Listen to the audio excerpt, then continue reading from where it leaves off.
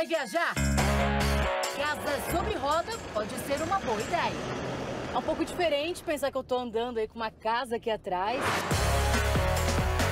Além do carro ser alto, tem um metro a mais. Enquanto a gente está andando com o carro, o alternador do veículo está gerando energia para a bateria da casa.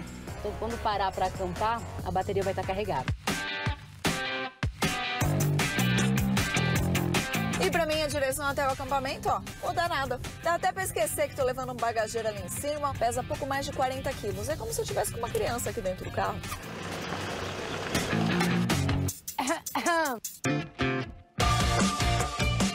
Ai, você tá fina, hein? hum, gostou da que casa? lindo! É veio com a casa inteira. Ah, eu vim com tudo. Eu venho com o meu carro. E vai dormir dentro do carro. Não Só vai? montar a barraca. Peraí, vou cronometrar. Deu 30, 30 segundos. segundos. A descoberta pelo gosto de cair na estrada e acampar aparece das mais diferentes razões. E sempre alimentando boas histórias. O que a gente dá prioridade é o contato delas com a natureza, né? Com as pessoas. O camping traz essa interação. A gente pretende colocar outra barraca na parte da frente. Mas por enquanto, dois adultos e duas crianças dá suficiente porque a cama aqui é maior que a maioria das camas de casal. Ela tem 1,60 por 2,20. Maior que a nossa. É, que a nossa, inclusive. Não dá pra colocar essa barraca no chão. Nem colocar uma barraca normal de camping Aqui em cima em de um cima. carro. Porque ela precisa ter essa estrutura de metal ali embaixo, que aguenta 350 quilos. Tem um rack reforçado para aguentar mais de 60 quilos.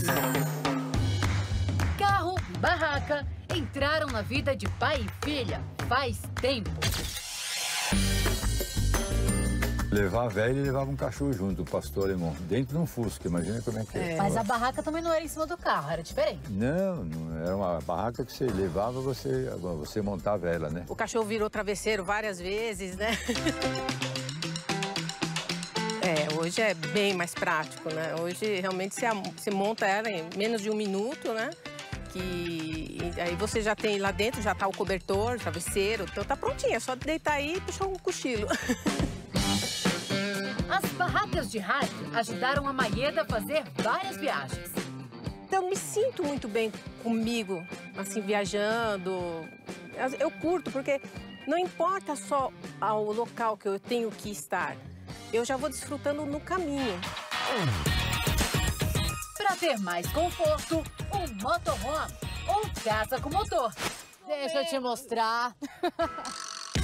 Até ali atrás, Atrás olha. também abre. Olha só, tem cozinha, sala e quarto. Aquela parte que a gente abriu do lado de fora é essa daqui. Aqui na cozinha também, ó, que a gente consegue ficar em pé numa boa. E essa área do ar-condicionado, pronto. Olha. Opa! Tem banheiro. Mas aí, como é que é esse chão Então, aqui? levanta aí. Ah, entendi. Ó, só montar aqui, a gente coloca a cortina pra não molhar tudo, Tem uma né? cortininha aqui. Então, a hora de tomar banho é que é um pouquinho complicado. As primeiras vezes, eu fiz uma bagunça lascada lá dentro. Eu ficava em pé e usava ele, o, o chuveiro nessa posição, só que daí eu tinha que ir com uma mão só. Então, o que, que eu fiz? Eu peguei, puxei aqui, coloquei no suporte aqui, aí eu sento e é assim que eu tomo banho. Sentadinho. Sentadinho. Esse é o estilo do Marcos tomar banho numa casa sobre rodas que tem uma particularidade. Carro e casa se separam. Essa é a grande vantagem do camper. Você tem dois em um. Agora, pra montar, deve dar um trabalhão. Que nada. Nós temos aqui os nossos pezinhos aqui, os macacos, vai levantar. Solta o, o gancho de fixação. Tira a caminhonete de baixo e está ali a sua casa desacoplada da sua caminhonete. Quando a gente sai para viajar, coloca a casinha em cima e estamos na estrada. E para quem prefere levar a casa no reboque, Tem o trailer. E tem mini trailer com barraca.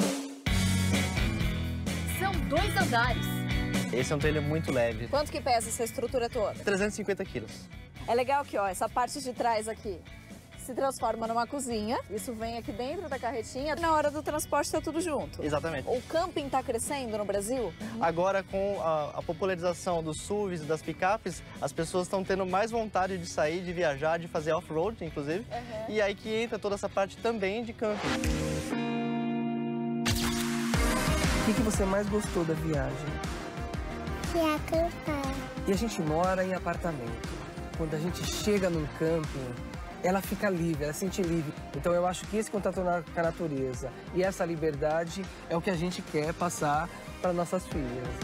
Quem levou ela para esse caminho fui eu, né? E eu que essas aventuras que a gente fazia era assim meio rudimentar, mas eu adorava. No dia a dia a gente não convive mais, né?